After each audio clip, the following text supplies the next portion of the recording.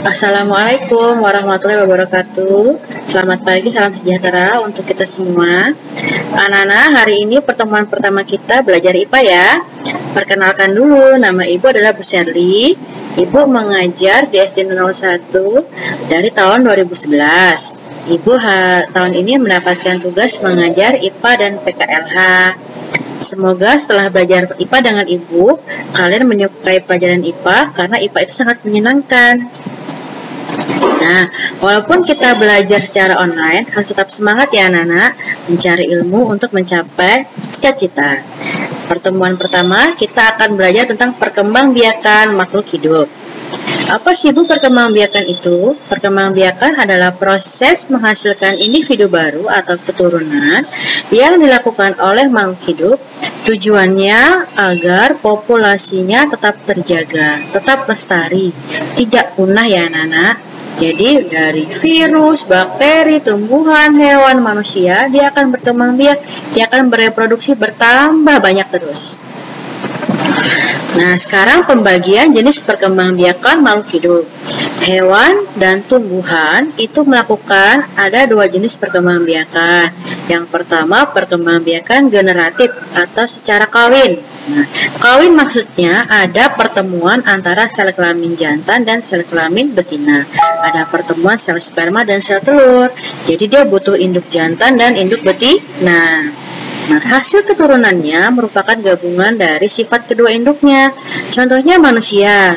Kalian itu hasil dari penggabungan sifat ayah dan ibu. Perhatikan, rambut kalian mirip siapa? Hidung kalian mirip siapa? Nah, itu adalah contoh hasil dari perkembangbiakan generatif, jadi gabungan. Yang kedua adalah perkembangbiakan vegetatif secara tidak kawin. Berarti tidak perlu sel sperma dan telur, tidak perlu induk jantan dan betina. Satu induk saja sudah bisa menghasilkan keturunan. Contoh di sini Ibu ambil adalah bawang. Nih, bawang ini tidak ada bawang jantan betina. Dia tidak punya putih, tidak punya benang sari, tapi bisa menghasilkan bawang-bawang baru secara umbi lapis. Seperti ini namanya perkembangbiakan vegetatif. Sifatnya sama persis dengan induknya karena tidak ada penggabungan antara sel sperma dan sel telur. Skema perkembangbiakan tumbuhan tadi Ibu jelaskan ada generatif, ada vegetatif ya. Hewan juga nanti juga sama, ada generatif, ada vegetatif. Nah, untuk yang vegetatif akan kita bahas di pertemuan minggu depan. Hari ini kita bahas yang generatif saja.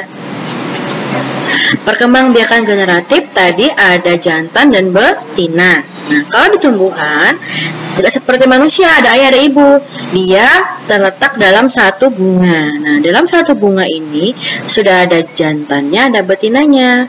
Yang mana jantan, Bu? Yang jantan itu adalah benang sari. Nah, ini benang sari ini nanti menghasilkan sel sperma anak. Nah, putiknya ini di dalam sini ada bakal biji yang menghasilkan sel Kemudian ini adalah bagian-bagian bunga lengkap ya. Dia ada dasar bunganya, ada bakal bijinya, ada kelopaknya, ada mahkotanya, ada benang sarinya, ada putiknya. Ini adalah bagian-bagian bunga. Perkembangbiakan generatif tumbuhan itu terjadi melalui dua tahapan. Yang pertama penyerbukan, jatuhnya serbuk sari ke kepala putik. Yang kedua adalah pembuahan atau fertilisasi bertemunya sel sperma dan sel telur. Nanti hasil penggabungannya adalah zigot anak-anak. Zigot nanti yang akan berkembang menjadi biji yang apabila kita tanam akan menjadi tumbuhan baru. Ini yang lebih jelas lihat gambar ini ya, perhatikan. Di sini kita ambil alat kelaminnya saja ya. Ini betinanya, ini jantannya. Nah, setelah benang sari itu matang, dia akan pecah anak mengeluarkan serbuk sari. Nah, serbuk sari ini akan menempel di kepala putik. Inilah terjadi peristiwa penyerbukan. Kemudian benang sari atau serbuk sari tadi akan masuk ke dalam, dia akan mencari sel telur. Nah, dia akan masuk ke ruangan bakal biji. Nah, di sinilah terjadinya fertilisasi atau pembuahan, yaitu bergabungnya sel telur dan sel sperma nih. Hasilnya kita sebut dengan zigot. Zigot nanti akan berkembang menjadi lembaga atau calon tumbuhan baru yang apabila tumbuhan ini bijinya ini sudah matang, buahnya matang akan jatuh ke tanah, dia akan tumbuh lagi menjadi tumbuhan baru. Misalnya pohon mangga kalian nih tahun ini berbuah 50 mangga. Berarti nanti kalau kita tanam semua akan menjadi 50 tumbuhan mangga yang baru. Kalau jadi semua ya. Nah, ini adalah cara perkembangbiakan generatif secara kawin. Syaratnya ada jantan, ada betina, ada putik, ada benang sari. Perkembangbiakannya melalui biji. Sekarang kita bahas macam-macam penyerbukan berdasarkan asal serbuk sarinya. Nih sendiri dari benang sari menyerbuki putik satu bunga sendiri. Yang tetangga ini pohonnya satu tapi bunganya dua. Benang sari ini menyerbuki bunga lain tapi masih satu pohon. Kalau silang, dia pohonnya dua anak-anak. Jadi pohon satu menyerbuki bunga pohon lain tapi sejenis ya. Nih warnanya sama-sama merah, berarti bunganya sama-sama berjenis merah. Kalau yang bastar sudah sama, pohonnya dua, jenisnya berbeda. Ini bunga sepatu merah membuahi menyerbuki bunga sepatu ungu. Nah, jadi beda varietas, beda jenis ya. Ini namanya bastar. Kalau yang sama namanya silang. Ini pohonnya dua ya, Nana. Ini pohonnya satu, ini bunganya yang satu.